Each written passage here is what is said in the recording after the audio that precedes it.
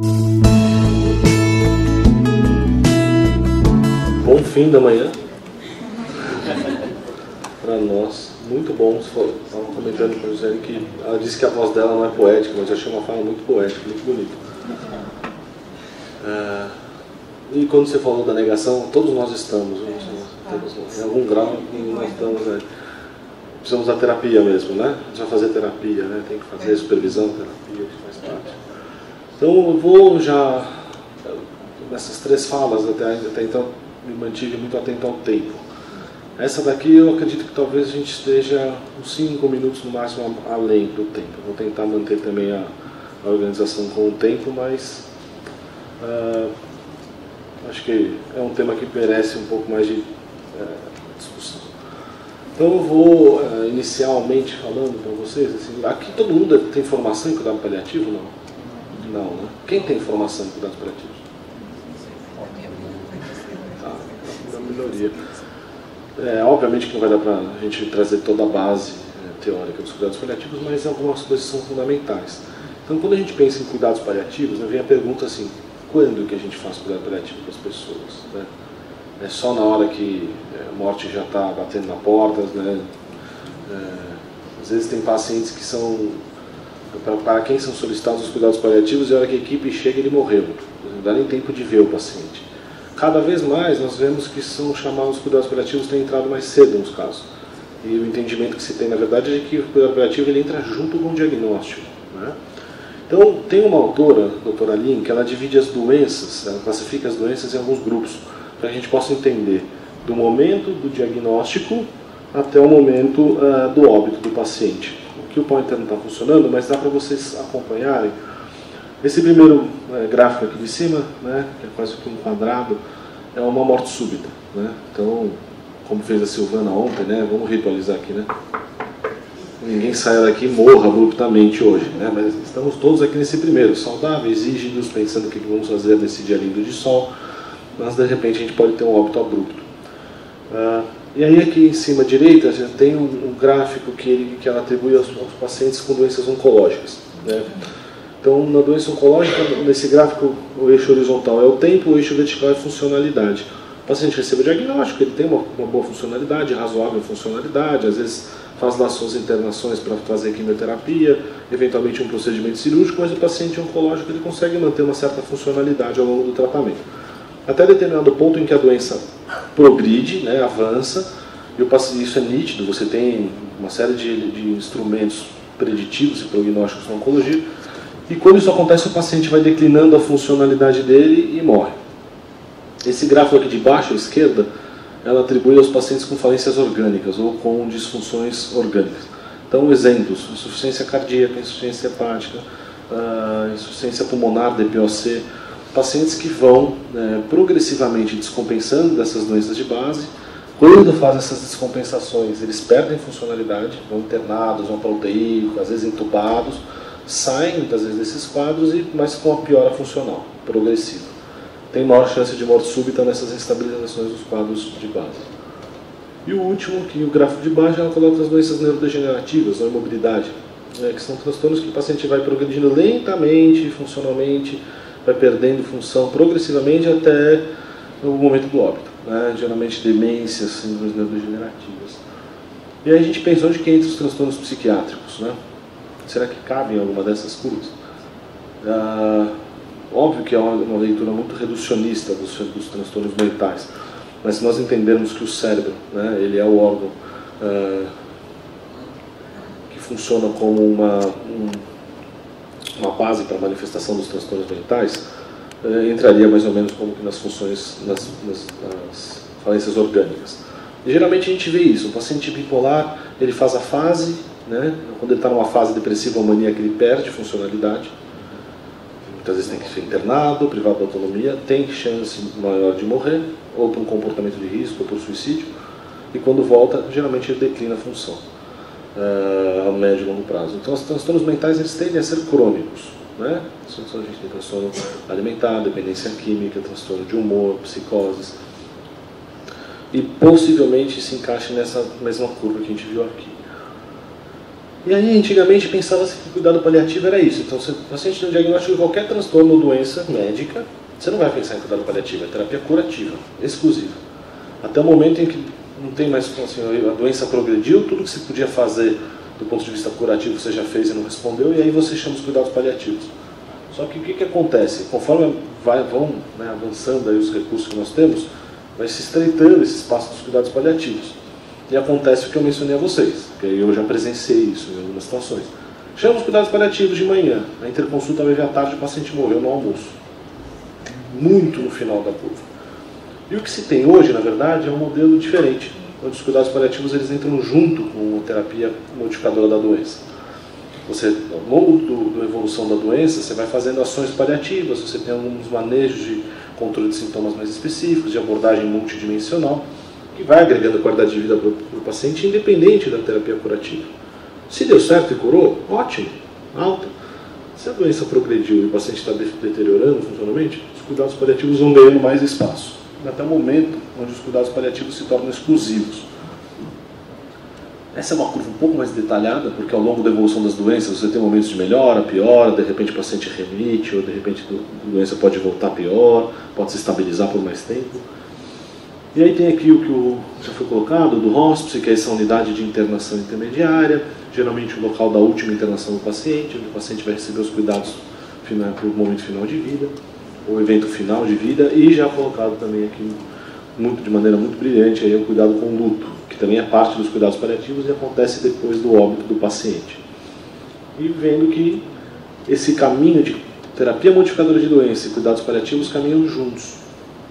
Eu já vou trazer assim, uma reflexão para vocês, transtorno psiquiátrico, uh, porque na psiquiatria, especificamente na questão de dependência química, isso é bem atual na psiquiatria, tem uma política aí acontecendo eh, com uma proposta quase que de combate ideológico à redução de danos, né, é equivalente a isso. A gente, na verdade, é como se na psiquiatria a gente estivesse voltando para aquela curva lá de trás. É só curativo e redução de danos não existe. Sendo que, na verdade, são complementares essas propostas. Bom, e aí a gente fica nessa discussão de terminalidade. Então, quando que é o fim? Né? Então, doenças orgânicas, físicas, a gente tem instrumentos preditivos e prognósticos bem, bem estabelecidos, principalmente para algumas delas. Suficiências orgânicas, você tem é, instrumentos que podem o Gold para DPOC, você tem o MELD para doença hepática, você tem uh, o Apache para UTI, para você pensar em prognóstico, você tem o PPI, o ECOG, você tem instrumentos que te dão a perspectiva prognóstica dos pacientes para as doenças físicas. E na psiquiatria, né?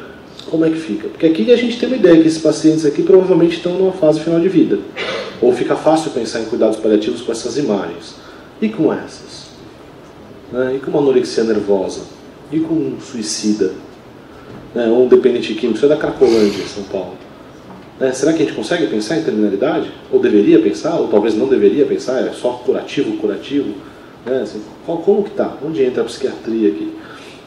E aí tem um ponto que eu acho que é bastante necessário da gente pensar, que na psiquiatria, desde que eu comecei a, a essa transição, junto com os cuidados paliativos, de uma via de mão dupla de vai para cá, leva a psiquiatria para os cuidados paliativos, traz o conceito para a psiquiatria. Lá no IPQ o pessoal ainda me chama de doutor morte. Né? Eles ainda têm essa ideia de que assim, cuidado paliativo é matar, é morrer. Ah, ou de que, assim, teve um colega que falou, é, quando o seu paciente tiver com a arma engatilhada, apontada para a cabeça, você chama o Henrique, assim, é a hora do, que seria talvez a terminalidade, talvez, pode ser que, sei lá, né, trave a arma, não sei. Mas, é, o que eu quero dizer é assim, na psiquiatria, você não ouve nenhum psiquiatra falar em terminalidade.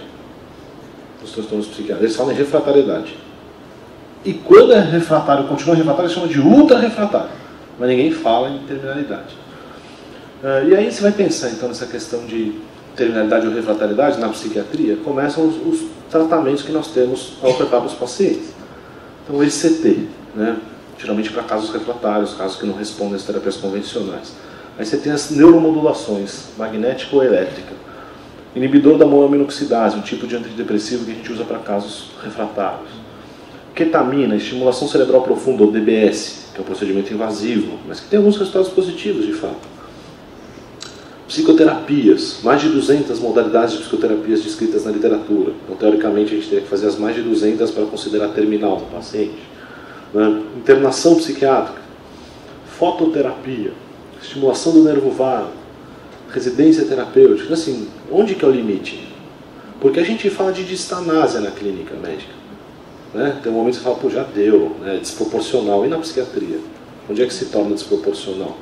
E a gente tem um histórico recente né, do movimento manicomial né, e o perigo que é a distanásia psiquiátrica. Né, perder a mão na proporcionalidade das conduções. Então esse é um ponto que eu acho que é relevante, é um, assim, é um questionamento, é algo que eu já digo para vocês que é bastante atual, a discussão desse tema, e a gente tem algum, bastante assim, lacunas sobre esse tema ainda. Tem um autor uh, suíço, uh, que é o Traxel, Manuel Traxel, da Universidade de Zurich, onde ele teve duas publicações, e uma delas ele diz: diversas abordagens clínicas na psiquiatria moderna já podem ser consideradas paliativas, uma vez que promovem qualidade de vida em detrimento de remissão ou modificação da doença.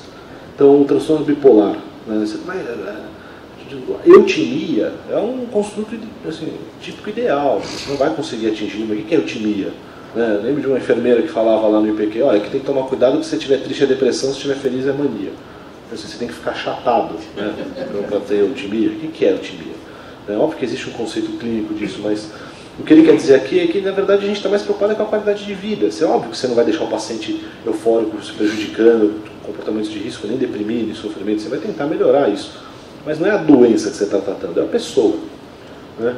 E uma abordagem paliativa na psiquiatria, isso é importantíssimo, não significa desistir do doente. Acho que isso é fundamental. A ideia do Dr. Morte é assim, não sabe o que é cuidado paliativo. Acho que cuidado paliativo é matar o doente.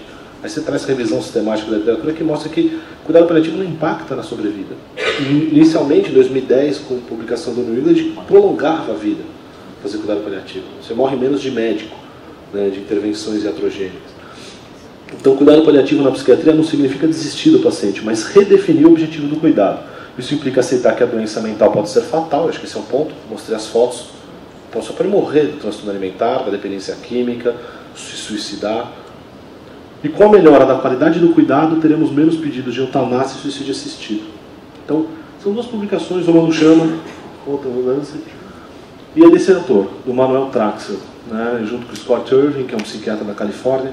Então, é um movimento que a psiquiatria aí tem feito para tentar resgatar essa discussão né, dentro da psiquiatria. Onde é que entra cuidado paliativo? Se é que entra? Será que a própria psiquiatria já é cuidado paliativo? Falei para o Alberto que lá no HC eu aprendi, eles fazem umas brincadeiras que eles dizem que o cardiologista é o ortopedista da clínica. Gosta de mensurar, né? Eletroneurofisiologia, eletrocardiofisiologia. Uh, que o oncologista é o cirurgião da clínica. E aí eu cunhei que os paliativistas são os psiquiatras da clínica. Que de certa maneira tem essa abordagem holística, multiprofissional, né, multidimensional, essa sensibilidade para o sofrimento também psíquico. Uh, isso é um, um levantamento que foi feito nesses, inclusive lá no Zurich também, e com esse grupo da Califórnia, e me perguntaram o que seria a abordagem paliativa está indicada para quais transtornos psiquiátricos, né? considerando que nós temos transtornos psiquiátricos que são graves, crônicos, muitas vezes refratários. E aí aparece anorexia, metade das pessoas acha que anorexia pode ter abordagem paliativa, esquizofrenia, que acho que talvez seja um transtorno com maior uh, entendimento de incurabilidade, e de cronicidade, depressão, transtorno bipolar, dependência química. Ou seja, há um entendimento de que os transtornos psiquiátricos podem receber abordagem paliativa. Não é consensual, tem muita resistência, como tem na clínica, como tem em outras áreas da medicina. Então a gente vai entender que a psiquiatria e o cuidado paliativo é uma via de mão dupla. Né? Você tem a, psiquiatria que ajuda os cuidados paliativos, acho que isso é, é fundamental, é necessário, é, é uma lacuna que existe sim, e vinha o, caminho inverso disso, onde que o cuidado paliativo pode ajudar dentro da psiquiatria. Então, em vários locais, né, nós temos publicações que mostram onde que pacientes psiquiátricos podem receber cuidados paliativos, seja paciente com depressão, com transtorno alimentar, com dependência química, pacientes suicidas, busca por eutanásia e suicídio assistido, querem morrer, como é que você maneja isso? Uh, esse é um, um, psiquiatra canadense, o Chochnov, inclusive é o autor de uma das modalidades de psicoterapia em fim de vida, que é a terapia de dignidade. Uh, ele foi fellow do Breitbart em Nova York, que é da terapia centrada no sentido. E ele traz essa, essa, esse artigo onde ele fala que a psiquiatria e os cuidados paliativos são dois lados da mesma moeda. Né? Então, de, tanto em uma frente quanto na outra, você vai ter que ajudar o paciente a responder algumas perguntas. Então, como que é viver vulnerável? Seja pela doença física ou seja por uma condição psiquiátrica, que de repente você pode perder o juízo, você pode ficar psicótico, você pode ficar deprimido. Como que uma pessoa mantém a esperança diante da morte? Ou diante de uma condição que é incurável? O que mesmo diante das circunstâncias terríveis faz a vida valer a pena? Quando resta pouco tempo, que coisas as pessoas julgam mais importantes?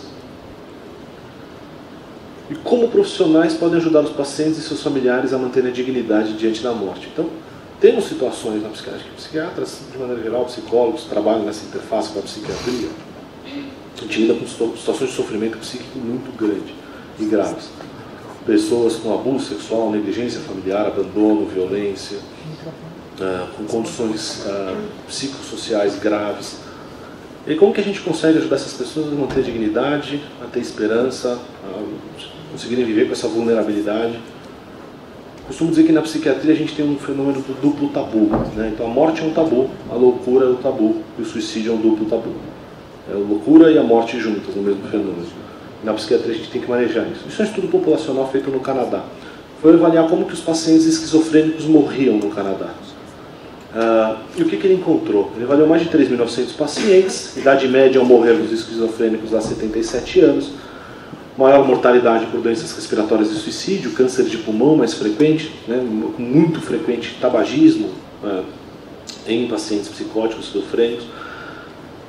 E aí ele viu que 50% desses pacientes, eh, metade deles tinha, eles tinham 50% menos acesso aos serviços de cuidados paliativos, ou seja, morriam mais desassistidos por serem esquizofrênicos.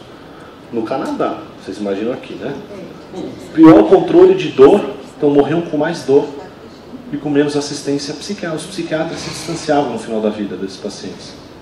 Então, são pacientes que já são vulneráveis. Né? A gente vive uma sociedade que marginaliza essas pessoas, que querem né, extinguir o espaço de convívio da loucura nas cidades. Pelo menos nas grandes cidades, isso é ruim para né, para especulação imobiliária, né, isso é ruim para a sociedade.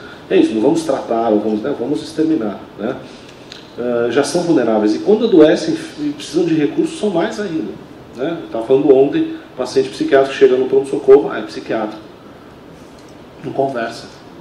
Tomam decisões, o paternalismo fica mais forte. E eles têm os mesmos medos e preocupações que os pacientes não psiquiátricos no fim da vida. Quer morrer com dor, sofrendo, mas ninguém pergunta acham que são incapazes. Uh, isso aqui é de 2017, vocês veem como isso daqui é recente. Né? Uh, vai começar a falar um pouco sobre essa busca do que, que seria esse transtorno mental terminal ou severo. Então, uh, um ponto importante: 6% da população tem transtorno mental severo e persistente. Óbvio que não são todos os pacientes psiquiátricos, como não são todos os pacientes oncológicos, como não são todos os pacientes cardiológicos que têm uma doença grave mas na psiquiatria existem pacientes com transtornos graves e persistentes.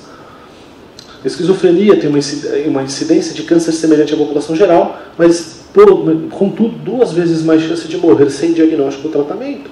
Então, o cara, só porque tem esquizofrenia, ele tem duas, ele está menos assistido, porque ele tem um diagnóstico psiquiátrico.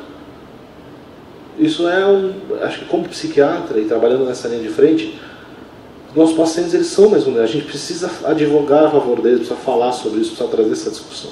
Essas pessoas elas são vulneráveis, marginalizadas e desassistidas. E às vezes com requinte de crueldade social. Né? As pessoas endossam isso, né? estigmatizam. Tira isso de perto de mim, é contaminante, as pessoas não querem falar sobre isso. Doença mental reduz 24% a chance do paciente fazer uma diretiva antecipada de vontade, que tem a ver com competência, com valorizar a autonomia do doente só porque ele tem um diagnóstico psiquiátrico. Isso é comum no geral. Né? Quantas famílias, não, doutor, a gente não vai falar que ele está doente porque o cara está eutímico, teve uma depressão, ah, porque vai que instabiliza. Né? Você priva a pessoa dessa possibilidade de exercer autonomia. O paciente em remissão tem capacidade para definir diretiva, então não tem por que a gente excluir. Falta de treino. As pessoas têm medo de descompensar o paciente, dificuldade de comunicar com o paciente psiquiátrico aquela coisa de abordar a suicidalidade que o Roberto falou. Então, quer dizer que se as pessoas acham que tem medo de perguntar se o paciente está pensando em suicídio, ah, eu falei, dei a ideia, agora ele vai se matar porque eu perguntei. Não existe isso. Né? Pelo contrário, quando você abre esse canal de comunicação e aceita que o paciente converse sobre isso, e como isso é importante para o paciente suicida. Na hora que ele chega para você, toca no assunto, porque ninguém quer falar com ele sobre isso. Família, ninguém. Às vezes nem o psicólogo quer falar, nem às vezes o psiquiatra que acompanha tem medo. A gente tem medo, é difícil falar sobre isso. É um tema que você precisa estar bem aberto e estar bastante, ah, vamos dizer assim, já refletido dentro de você para conseguir convidar, conversar com outros sobre isso. Bom, muitos pacientes têm quadros amotivacionais, ambivalências e déficit para tomada de decisão. Agora, isso justifica excluir o paciente? Quando você fala de termo de consentimento livre esclarecido, né, tem uma condição para situações uh, de parciais incapacidades ou limitações cognitivas que se chama assentimento, em que você trabalha nesse, nesse, em cima dessa condição, o paciente assentir sobre um determinado tratamento ou não. Então, por que, que a gente exclui essas pessoas? E o paciente psiquiátrico também tem medo de morrer, como eu falei, tem medo da dor, tem medo de morrer sozinho, de perder a autodeterminação. E ele é o que mais sofre com isso, pelos dados que nós estamos vendo, de países de primeiro mundo. Né? Bom, é um desafio para todos nós conduzir isso. Uma grande dificuldade na psiquiatria é estadiamento clínico dos transtornos mentais. Isso é uma lacuna, a gente não tem instrumentos ou classificações de risco, de estadiamento, não só clínico, como prognóstico. Estou citando alguns, então tem alguns. Está aqui a Eliane, ex-preceptora do, lá do HC, do Núcleo de Cuidados Paliativos, que é médica. A gente, ela levou agora, no ano passado, um caso que a gente acompanhou de um paciente com transtorno bipolar, ela levou para Montreal, no Congresso Internacional de Cuidados Paliativos. E foi um caso super interessante. Bom, a gente está acostumado a ver corpos morrendo. E quando a mente está. O corpo está vivo, mas assim, o cara já está assim, tá morrendo mentalmente. Como que isso fica? Como que é manejar essa tipo situação em cuidados paliativos? Então há tentativas de estadiamento dos transtornos mentais. Aqui no caso da anorexia nervosa também. Né? É, transtorno psiquiátrico em fase final seria refratário. Né? Essa diferenciação de sintoma físico e psíquico. Né? O paciente está morrendo, é a mente dele que está morrendo, é o psiquismo que está morrendo, é o corpo ou os dois? Seria um suicídio racional a anorexia? Lembrando que a anorexia na psiquiatria é o transtorno psiquiátrico com maior mortalidade. Transtorno alimentar em fase final, ele precisa então ser crônico, ter baixa resposta aos tratamentos, declínio físico importante e avaliação de competência. Aí tem a questão ética. Né? Então, o paciente desnutrido, se você fizer testagem neuropsicológica, novamente ele vai ter prejuízo cognitivo. Será que isso justifica incapacidade incompetência? Como é que você vai gerenciar esse tipo de decisão com esse tipo de paciente? E isso não tem consenso, nenhum desses, desses diagnósticos, isso não é consensual. É, esse é um artigo que mostra uma paciente de 18 anos, IMC de 9,5, 9,5 de IMC. A gente está falando de IMC de campo de concentração. É, início de doença aos 11 anos de idade, então 7 anos de doença, depressão e toque comórbidos, mais de 10 internações, três delas involuntárias e com sonda nasointeral, alimentação artificial. Isolamento social, abandonou o colégio, tratou depressão e toque, se manteve, eh, manteve, porém manteve os sintomas de anorexia nervosa, recusou qualquer proposta de tratamento. Dois psiquiatras confirmaram a capacidade dessa paciente para tomar decisão com relação à recusa, mas houve divergência na equipe. E é comum. Isso é difícil. Paciente que sabe que vai morrer por não comer, por inanição e por uma doença psiquiátrica. E como é que você vai falar? Então tudo bem, vamos para os cuidados, manda essa paciente para o hospice ou para a equipe de cuidado paliativo cuidar. Como é que faz? Quem que cuida? Quem tem expertise para manejar esse tipo de paciente? Então essa paciente ela foi para o hospice, ela permaneceu um ano estável. Porra, era final de vida, ela podia morrer, eu esperava que ela fosse morrer muito antes. E ela ficou um ano viva no hospice retornou para a internação no hospital depois de um tempo instável. Os pais tentaram impedir, mas não conseguiram, ameaçaram a equipe e ela morreu após sete dias na internação no hospital, na segunda internação. Uh, são casos difíceis. Esses casos eles são muitas vezes colegiados, ou seja, não é uma coisa simples de decidir, não é para uma pessoa decidir. Discussão em equipe, discussão colegiada com o comitê de ética da instituição, esse caso foi para isso, consultoria jurídica e conselho. E, geralmente são casos que precisam passar por esse trâmite né? Mas, de novo, a gente está falando de 20% de mortalidade. Não tem sentido pensar em cuidados paliativos? Não estou pensando exclusivo, ok? Mas pensar em cuidado paliativo uma paciente dessa. Então, como é que você faz esse tipo de abordagem de determinação, né? com a sua capacidade e competência?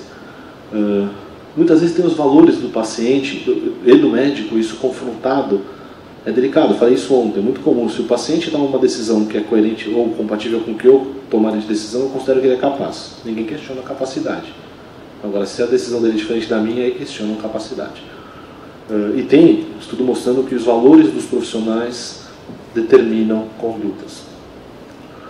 Uh, isso muda ao longo do tempo, isso é interessante, porque tem pacientes com transtornos alimentares de longa data que melhoram. Então você fala, pô, então é potencialmente reversível.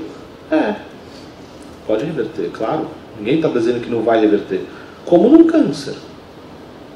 Como numa outra doença, que de repente pode estabilizar. Quem que comentou? Foi a Silvana, comentou ontem, uma paciente que ficou estável sete anos de uma demência. Pode estabilizar o quadro. Né?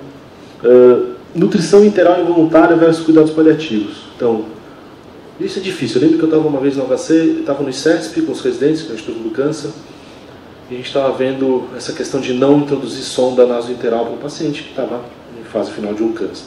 Aí eu fui para o IPQ e fui ver uma paciente que eu tinha acompanhado na residência, eu estava como preceptor, e eu fui ver uma paciente que estava com anorexia nervosa, que estava contida com alimentação forçada. Eu falei, meu, qual a diferença? De, assim, discussão ética, discussão de terapia de nutrição artificial. Isso começou a me chamar a atenção. Eu falei, meu, será que a gente está falando de uma discussão eticamente parecida? Desses limites? De novo, pacientes com dependência química. A gente teve um caso também que acompanhamos, uma paciente com dependência de crack, que recebeu né, diagnóstico de câncer de pulmão, e estava internada na psiquiatria. E como que a gente maneja isso? Essa paciente vai morrer de câncer internada na psiquiatria, involuntária? Você vai falar, não, você vai poder fumar pedra. E como é que a gente faz isso? Como que você toma a decisão com essa paciente? Como é que você discute com a diretiva do tratamento oncológico se ela está intoxicada de crack? Então a gente teve um caso que a gente levou para o Congresso Brasileiro de Psiquiatria, né, que a gente teve no IPQ de uma paciente com câncer de pulmão. Então a trajetória, da, trajetória tem muitos pacientes com trajetória clínica avançada, esses pacientes da Cracolândia, eu trabalhei durante um tempo no Cratóide, em São Paulo, que é um centro de referência de álcool, tabaco e outras drogas. A gente atendia basicamente a população da Cracolândia. Mais da metade daqueles pacientes tinham comorbidades infecto-contagiosas, hepatite B, hepatite C, HIV, doenças oportunistas. Então, assim, você não está nem falando mais de. Você não está pensando. Se você não quiser discutir terminalidade psiquiátrica nesses pacientes, você vai ter que discutir terminalidade orgânica, que já tem critério para você pensar em cuidado paliativo. Só por isso. E muitas vezes eles têm essas comorbidades que são resultantes da adicção. Pacientes que se prostituem para conseguir dinheiro para comprar droga, que fazem uso de drogas injetáveis e se contaminam com né, vírus. Deterioração clínica sem perspectiva curativa. É uma população vulnerável e aí você está falando em promover dignidade como um direito universal para também essas pessoas. Uh, novamente, tentativas de estabelecimento de modelos de estadiamento clínico em psiquiatria. Essa é uma realidade, uma necessidade e muitas vezes o modelo nosológico que a gente tem, que a gente estava falando das categorias, ele limita isso. Porque o modelo nosológico ele tem uma confiabilidade questionável. É um modelo descritivo. Você agrupa sintomas em síndromes né, e coloca isso como uma categoria. Então, o modelo que, que é aquilo que a gente falou, depressão. Tem um monte de tipo de depressão dentro da mesma categoria. É difícil estadiar com esse modelo. Então, há uma tentativa, muitas vezes, de trazer modelos neurobiológicos o DSM deve ter um tempo de vida útil. Né? Já está surgindo o ARDOC, que é o modelo mais atual de classificação dos transtornos psiquiátricos e que leva muito mais em consideração aspectos neurobiológicos, né, neurocognitivos, que permitem um estadiamento mais preciso quando a gente pensa nesse modelo. Uh, o modelo heurístico e preditor prognóstico vai favorecer a condução dos casos, porque você sabendo que lembra da curva que eu mostrei, lá no começo, é fundamental você saber onde esse paciente está na curva. Me ligou antes de vir, essa semana, quarta-feira, me ligou uma residente da psiquiatria da Unesp, lá em de Botucatu, de São Paulo, para a gente discutir um caso que eles estão tendo lá. Paciente esquizofrênico de 60 anos, com diabetes e está evoluindo com uma nefropatia diabética e precisa de diálise. E aí me ligaram. Aí vamos conversar. Paciente que se manteve estável com o uso de aldol decanoato, que é uma medicação de depósito, que a gente faz para pacientes que têm uma a, adesão parcial ao tratamento, porque ele não toma o remédio todo dia, você faz o depósito, você garante que ele está medicado. E ele tomava, além do decanoato, ele tomava risperidona via oral. Só que aí ele começou a ele tinha períodos que ele fazia tratamento de maneira intermitente, não só da, da esquizofrenia, mas do diabetes também. E muitas vezes isso culminou com a evolução do diabetes por insuficiência renal, uma nefropatia diabética. E aí, diante disso, optou-se por então deixa. Não vamos fazer diálise, vamos considerar que é terminal o caso. E aí você tem que pensar naquela curva e falar, bom, nefropatia, onde esse cara está na curva? Ele está morrendo com insuficiência renal? Não. E para esse modelo de doença, você tem a diálise, que substitui uma função vital. Esse paciente pode ficar mais anos fazendo hemodiálise. Aí vem a esquizofrenia. Ah, mas ele é esquizofrênico, está descompensado e tá, não está aceitando tratamento. Mas a esquizofrenia é terminal? A gente viu, né, longe, média da idade de morte dos esquizofrênicos no Canadá, 77 anos. Esse cara tem 60. Com 60 anos ele fez tratamento psiquiátrico e a maior parte do tempo ele ficou estável. Só que não estavam deixando ele mais estável porque ele não estava tomando a risperidona, estava só com decanoato. E aí falaram, mas e se a gente der clozapina? A clozapina tem um risco de agranulocitose, uma medicação que você tem que monitorar, tem risco. Tá. E ECT? Ah, é, considerou-se desproporcional. Mas aí, por conta disso, entendeu-se que assim, esse paciente é, é, terminal. E na conversa que a gente discutiu, eu, meu entendimento é de que esse paciente, do ponto de vista da esquizofrenia, não é terminal. E você está tomando uma decisão, você que eu digo, a equipe, privando essa pessoa de participar da decisão, ainda que a decisão dele seja não quero diálise, mas que ele esteja fora da psicose. E o que, que você vai fazer? Precisa tratar esse transtorno mental. E existe a risperidona de depósito, igual o decanoato, só que aí tem custo. Aí você pensa, bom, um juiz que determina né, é, uma, um procedimento caro como diálise, não pode determinar também uma medicação de psicótico de depósito? Mesmo que o paciente de repente escolha morrer. Ou não fazer o tratamento. Uma recusa de tratamento, mas um paciente que está estável do ponto de vista psiquiátrico. Então são discussões complexas. A gente tem que ver de que doença que você está falando, o que é terminal, o que não é quem está tomando a decisão, isso é uma decisão paternalista, que você está privando a pessoa da autonomia. E, de novo, os pacientes psiquiátricos, ninguém, ninguém questiona muito isso, né? é meio que consensual.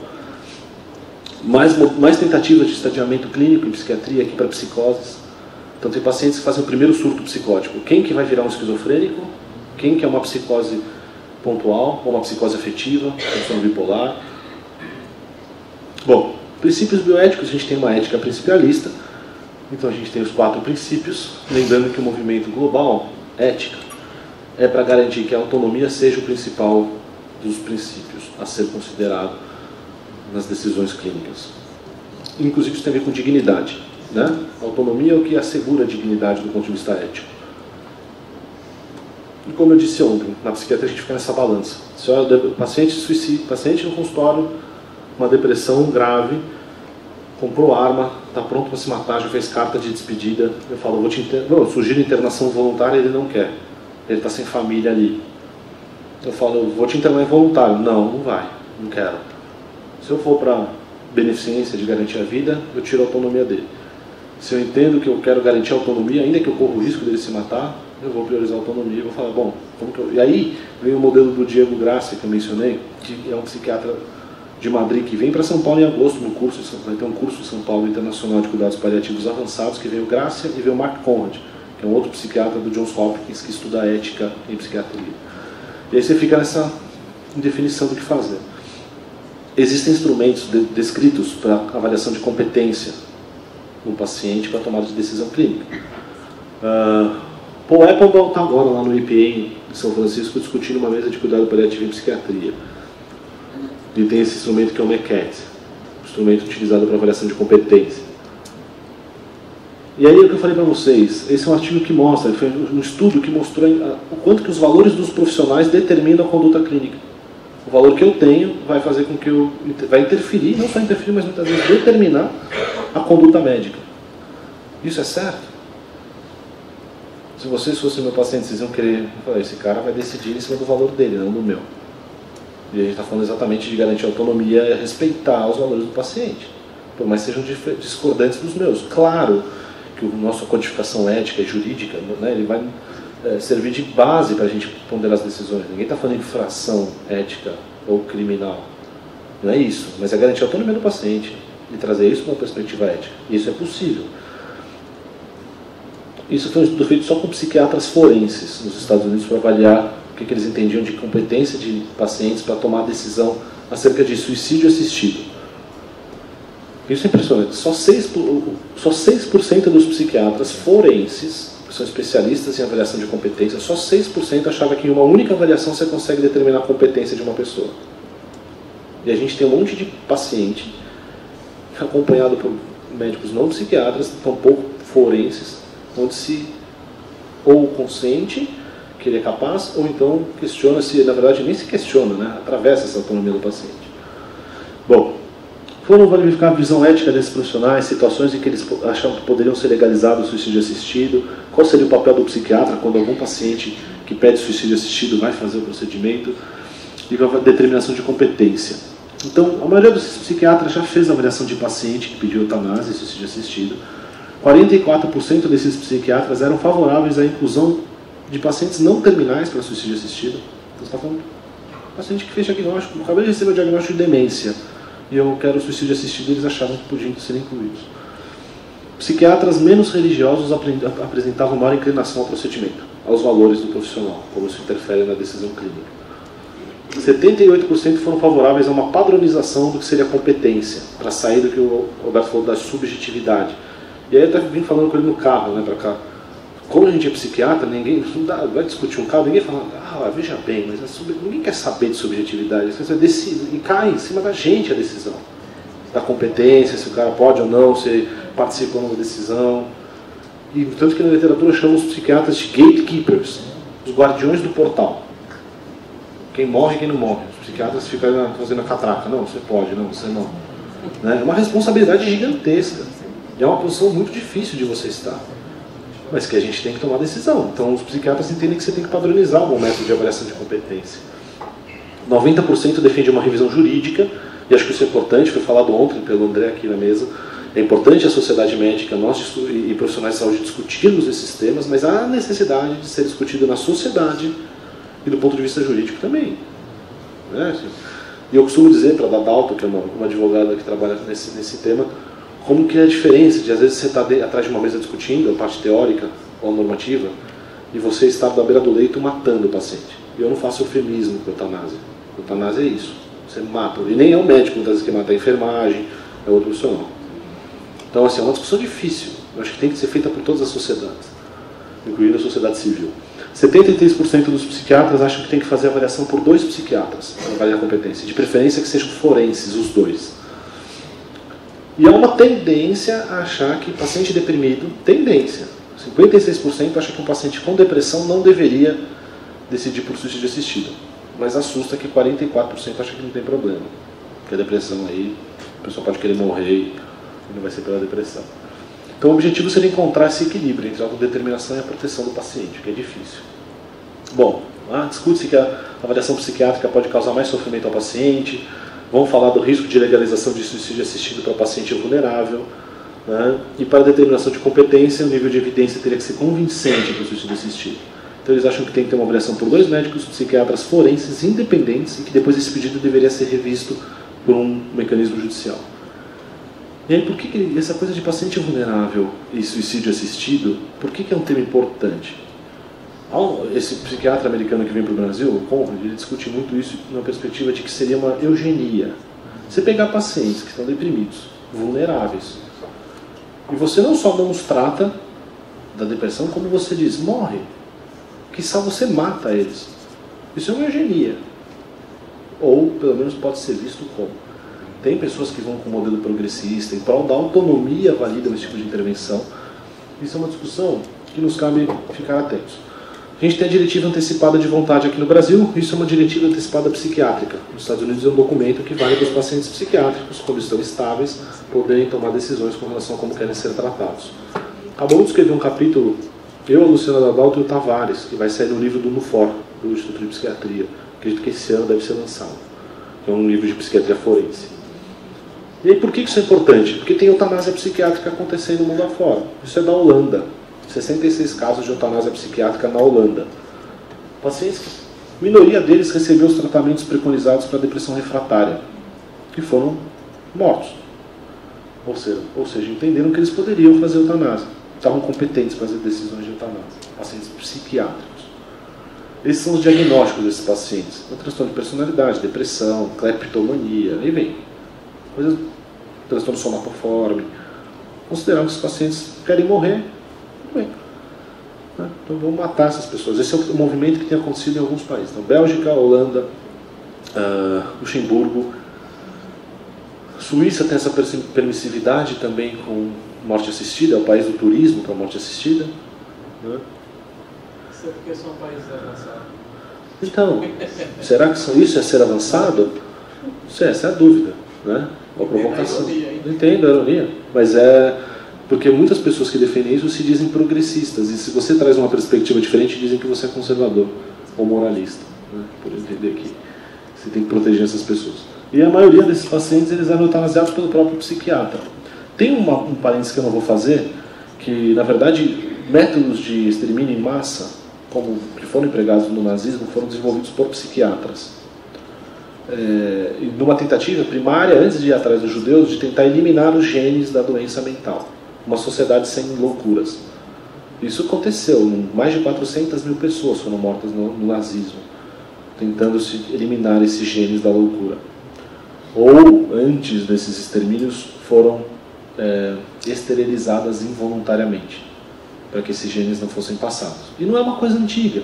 Tem pessoas hoje no Brasil que acham que a gente tem que matar mesmo os outros. Vamos armar as pessoas lá nos Estados Unidos, não vamos mesmo é, eliminar os drogaditos. Ah, teve um senador americano que disse sobre a epidemia de opioide que, que era bom que morressem, porque assim você tiraria esses genes da sociedade. Está falando de 2015. Não, mas em 2019 tem um presidente da República do Brasil que se coloca desse jeito. Então, a gente está falando da nossa posição como profissionais de saúde, né, como que a gente tem que cuidar. Né. Nesse, uma mesa de discussão que teve nos Estados Unidos sobre eutanásia psiquiátrica, o holandês levantou e perguntou, tinha um holandês na sala, ele questionou o americano que estava na mesa e falou, mas não é estranho a gente vir, vocês virem questionar esse tipo de prática lá, enquanto aqui vocês têm armas liberadas e o maior suicídio por arma de fogo? Tá, são pessoas vulneráveis que você dá a arma.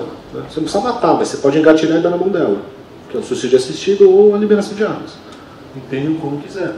Mas é o que a gente faz. Isso, já, só concluir no final a gente discute.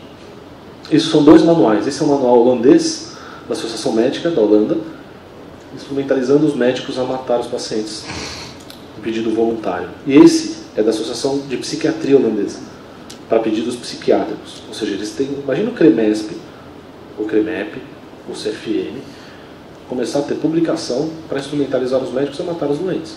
O conflito ético que isso tem. Bom, psiquiatria paliativa é uma abordagem que melhora a qualidade de vida de pacientes. Isso aqui é a definição do que é cuidado paliativo psiquiátrico. É esse artigo é de 2019, é bem atual, é da Suécia. Então, psiquiatria paliativa é uma abordagem que melhora a qualidade de vida de pacientes e familiares diante de problemas associados a um transtorno mental que ameaça a continuidade da vida através da prevenção e alívio do sofrimento multidimensional. Foca na redução de danos e na evitação de intervenções psiquiátricas geradoras de sofrimento e com impacto questionável, ou que a gente falou da distanásia psiquiátrica. Isso aqui seria o cuidado paliativo é uma saída para esses procedimentos de eutanásia. Não estou falando nem psiquiátrica. O paciente que está com dor, que está sendo privado da sua autonomia e da sua dignidade, que está sofrendo, cabe a ele num universo que não assiste e não acolhe sofrimento? Vai querer morrer. Vai querer se livrar desse lugar. E por que isso não vale na psiquiatria? Então, discussão de cuidados paliativos também na psiquiatria é uma maneira de evitar esse tipo de prática. E também de acolher esse sofrimento, que muitas vezes vai para um suicídio. Então implica o que seria esse, o que, que o cuidado paliativo psiquiátrico faz? Prover apoio ao enfrentamento na aceitação de sintomas psiquiátricos. Afirma a vida, mas compreende que pode ser terminal uma condição psiquiátrica. Não intervém no sentido de antecipar nem adiar a morte. Então não é essa coisa de achar que cuidado paliativo mata, não tem nada disso, ao contrário. Integra aspectos físicos, psicológicos, sociais e espirituais. Oferece um sistema de apoio para o paciente viver o mais ativo possível até a morte. Oferece esse sistema para a família também. Promove qualidade de vida e é utilizado em conjunção com outras terapias de, direcionadas à prevenção, cura e reabilitação. Então, é essa a ideia. O paciente que está recebendo um diagnóstico de câncer e o cuidado paliativo entra junto, não significa que você vai matar o paciente, que ninguém vai dar o quimioterápico ou tentar a terapia modificadora da doença. Você vai fazer isso junto.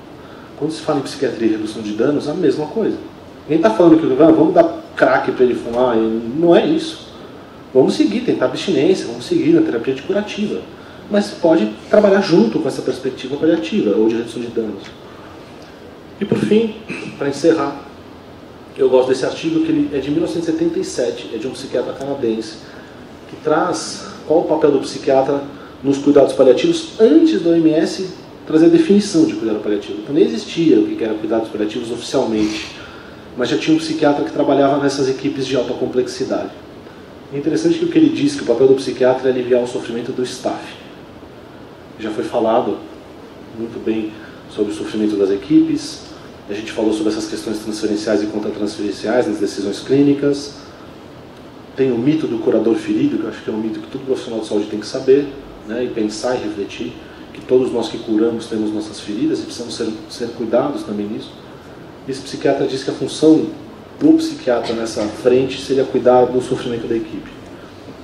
Ele diz que nessa frente de cuidados paliativos você tem uma exposição muito intensa aos afetos, e você tem pouca oportunidade de ventilar. Ou seja, a gente atende um monte de caso grave no mesmo dia e não tem com quem dividir, né? Às vezes chega em casa com namorado, namorada, pai, não tem nada a ver, começa a falar e as pessoas falam, nossa, pelo amor de Deus, para. Né? Quem é profissional de saúde que sai com outros profissionais de saúde só se fala de medicina, só se fala daquilo, é impressionante. É quase que uma, uma coisa de um estresse pós-traumático. Né? Então cabe ao psiquiatra muitas vezes ajudar nessa ventilação, na escuta, na supervisão. Envolvimento excessivo e culpa inapropriada é muito comum. A gente se sente muito responsável pelos pacientes, até, até onde não nos cabe essa responsabilidade. E aí a gente está falando da autonomia. E ao mesmo tempo saber proteger esse paciente quando a gente vê que a autonomia está comprometida, levando em consideração os nossos valores e os deles. Testemunhar a vivência da equipe é um papel, reconhecer as estratégias de enfrentamento, psicopatologia, que a gente falou aqui.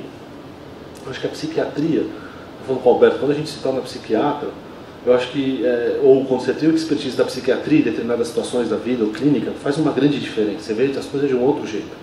Né? Eu acho que é, e é importantíssimo ter essa troca. Avaliação dos pacientes e dos membros da equipe. É interessante que os membros da equipe pedem muitas vezes avaliações informais, é comum. Doutor, mas aquele remédio, né? eles falam como tomando café. Oh, você não sabe o que aconteceu com a minha esposa. Traz um problema, que às vezes é um problema de consultório, que você precisa cuidar com a mesma seriedade, carinho e competência que você faz com seus pacientes. Por que, que o nosso colega não pode receber esse cuidado? Quer fazer no café? Né? Não, qual que é o remédio? Não sei tocar. Né? Evitar ter uma atitude analítica. Então a gente não está ali para analisar a equipe. Não, não, façam isso, isso piora o sofrimento. As pessoas espanam. A supervisão, ventila, divide. Putz, é difícil mesmo. Nossa, que caso grave, né? Nossa, quando, quando esse paciente, olha, quando der alta, vamos tomar sair para tomar um gin, dar uma relaxada, porque olha, isso daí é algo, falar, é pesado. Não é ficar analisando o colega, a equipe, né? Se quiser fazer terapia, é ótimo. Eu acho que vale a pena muito fazer. Sou super favorável que façam terapia. E aos psicólogos e terapeutas, supervisão também. Acho que é fundamental, inclusive.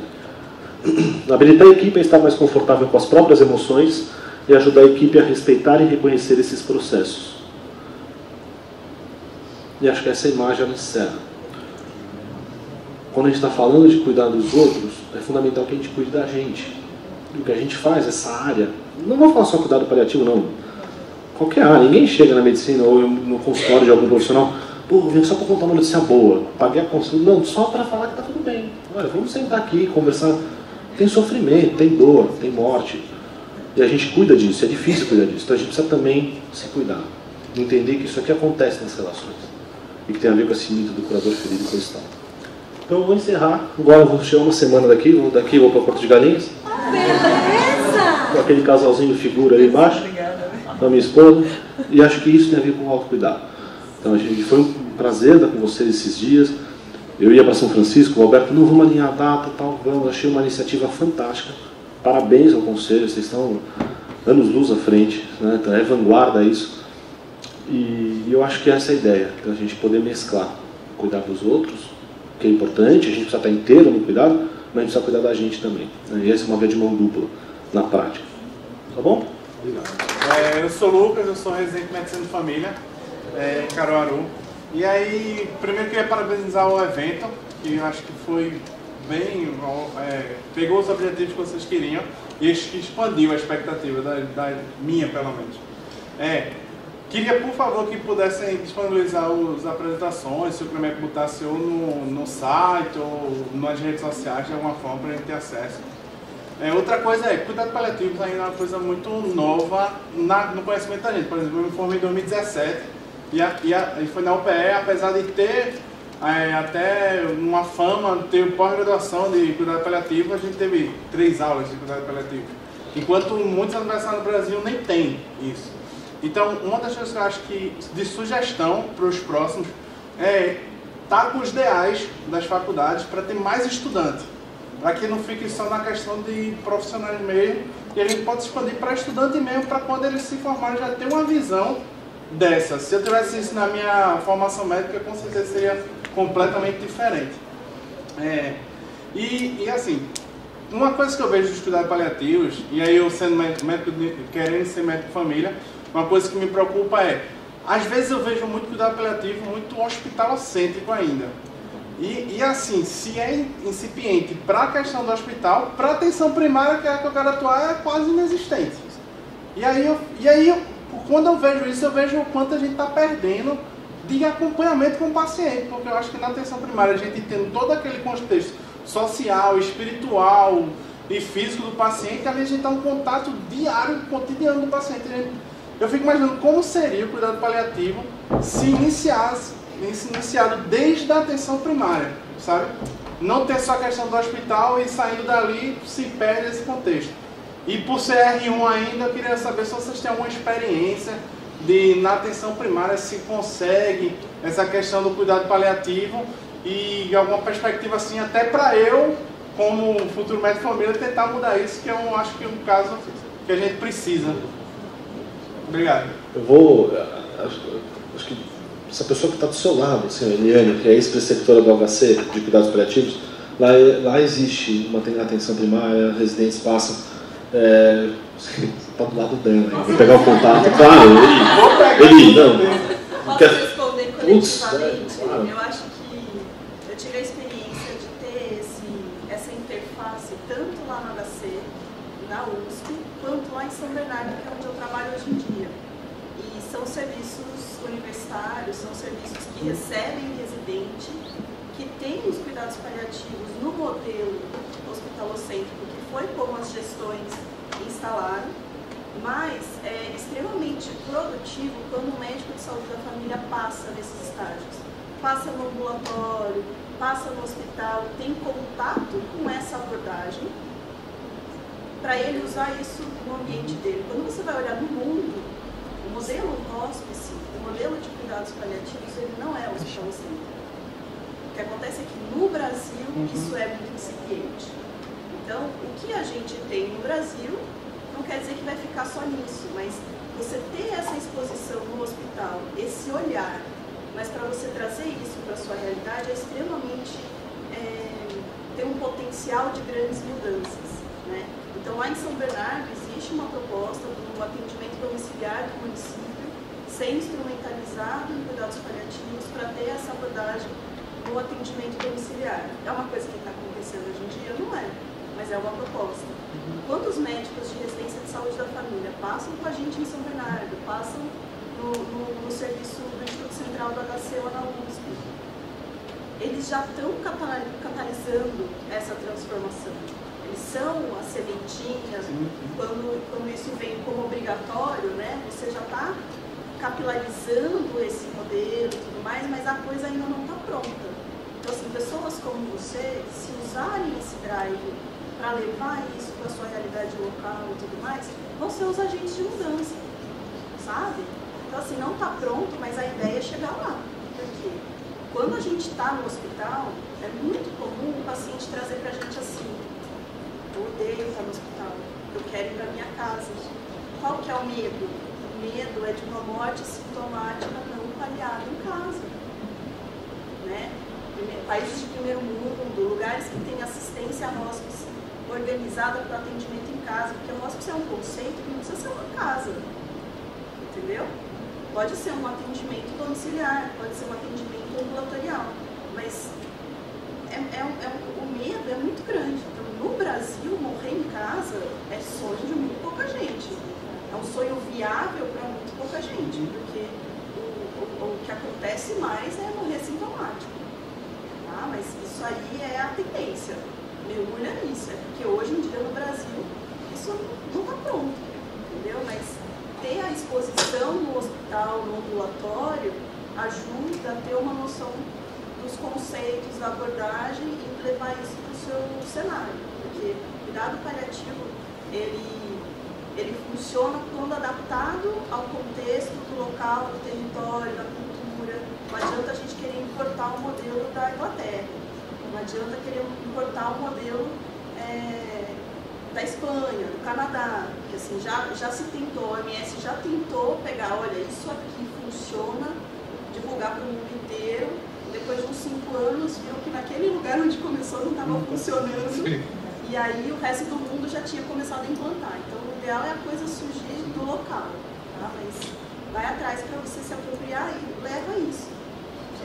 E aí, para trazer essa discussão até mais para próxima de você ainda, é, eu divulgo fortemente isso, gente. Isso aqui é uma fanpage no Facebook, tá? Manto Cuidado Paliativo na Atenção Primária à Saúde. Em 2017 eu tive a oportunidade, antes de entrar na residência de psiquiatria, na minha saída do IMIP, de trabalhar na atenção primária em Caruaru. E a gente fundou um, um, um, um projeto de cuidado paliativo na atenção primária à saúde. Então, a gente selecionou na comunidade, inspirado pelo projeto Está ao Seu Lado, isso é importantíssimo de ser falado, que é um projeto de um grande amigo, Santiago, lá do Rio Grande do Sul, o cara está tipo séculos de luz na nossa frente, no tocante a cuidado paliativo na atenção primária. E o Está ao Seu Lado também tem a fanpage do Está ao Seu Lado, e a gente meio que fez um, um projeto piloto do Está ao Seu Lado em Caruaru, ano retrasado, que foi o, o Manto. A gente selecionou duas unidades de saúde para conseguir trabalhar os projetos, teve toda uma capacitação. A gente fez um curso de sensibilização em cuidado paliativo na atenção primária à saúde para os trabalhadores da equipe. E aí, por exemplo, vocês estão vendo aqui essa foto, é uma foto da equipe de saúde, que inclui desde o recepcionista até o segurança da equipe, o médico assistente, etc., discutindo o DAN, que é o diagrama de abordagem multidimensional de sofrimento, de um paciente durante uma tarde inteira. Vocês entenderem como isso é importante e é possível de fazer na atenção primária. Só mostrar aqui outras e aí na, na fanpage tem todos os, o passo a passo de, de, elaboração do projeto. Foi feito em Caruaru, inclusive. Hoje em dia a gente não tem mais o manto, porque acabou que eu que me mobilizava o projeto lá e eu precisei sair para vir para a residência. E esse projeto ficou à parte, mas eu lhe convido fortemente a reimplantar o manto por lá. Está tudo absolutamente pronto, basta ter alguma minoria criativa que pode sair para frente. Então a gente você está obrigado agora, falou porque quis a, a gente conversar e botar a renascer é isso aí. E é em Caruaru, do seu lado, então não tem desculpa. Beleza?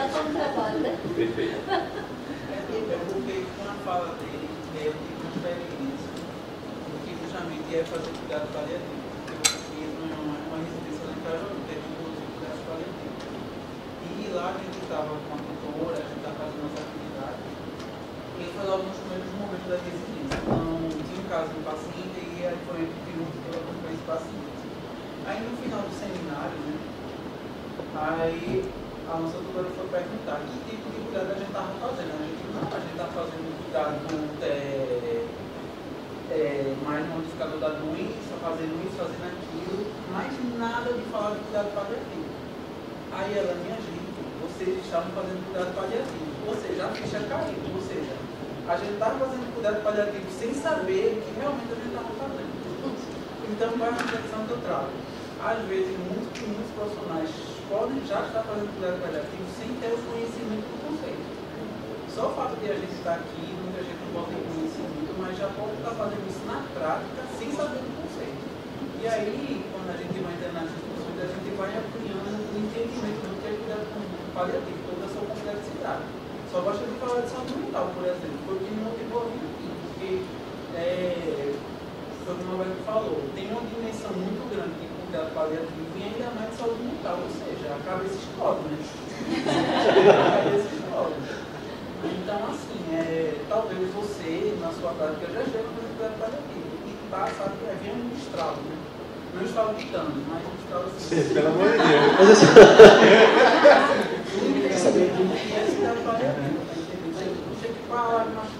Que. Ô Diogo, mas você sabe que você está falando uma coisa? Que é uma discussão entre os paliativistas, é, de que assim, cuidado paliativo, ele é boa prática. Quem faz a boa prática, o problema é que quando você pensa assim, bom, a gente precisa criar uma coisa dessa, é porque provavelmente eles estão fazendo boa prática.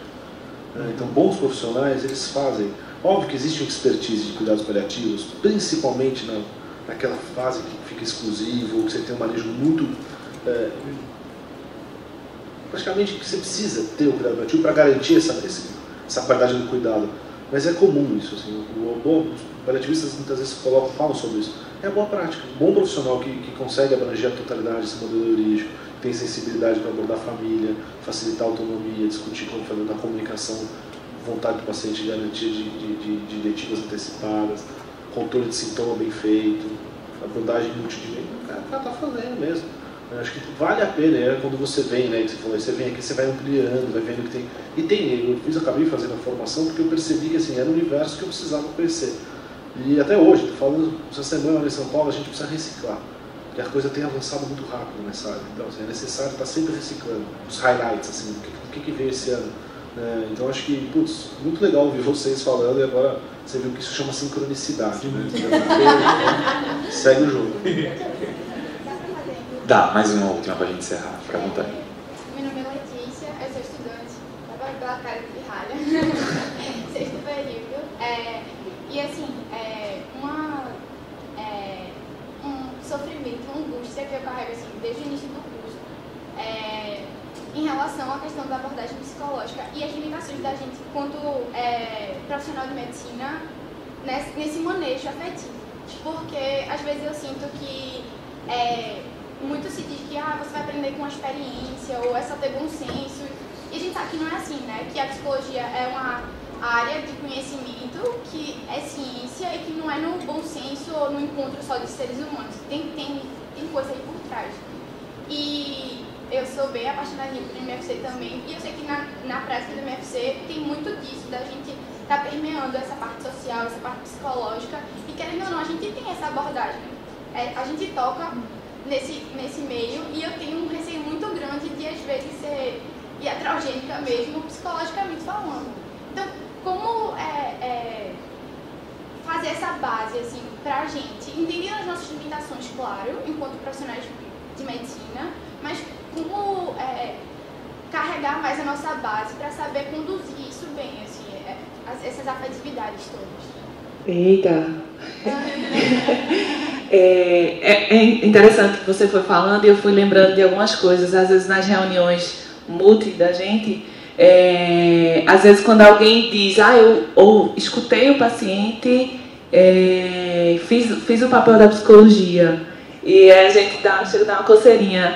Porque escutar o paciente é papel de qualquer pessoa, de qualquer profissional de saúde. Não é uma atribuição única exclusivamente do psicólogo.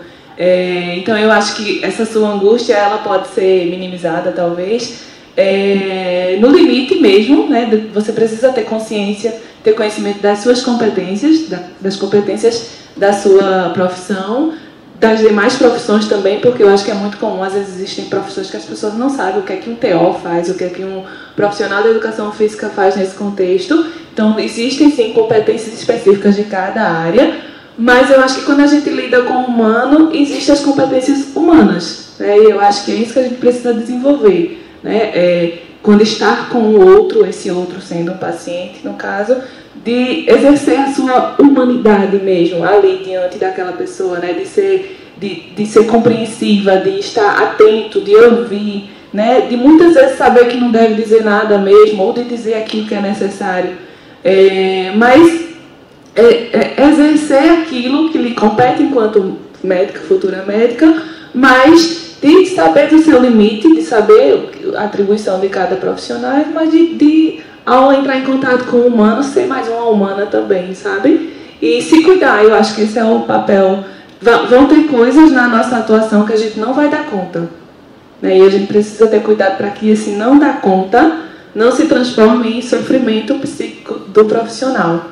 Então é comum que a gente não dê conta de várias coisas, inclusive, inclusive da psicologia a gente também não dá conta de muita coisa, né? Por N fatores. Então é de não transformar esse não dou conta disso em sofrimento.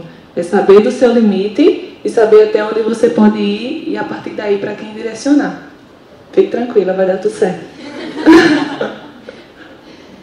Gente, a gente com certeza passaria o resto do dia discutindo com vocês, trocando experiência, mas infelizmente esses momentos eles precisam se configurar enquanto fagulhas, entendeu? A gente precisa saltar, estimular para que vocês cresçam a partir daí.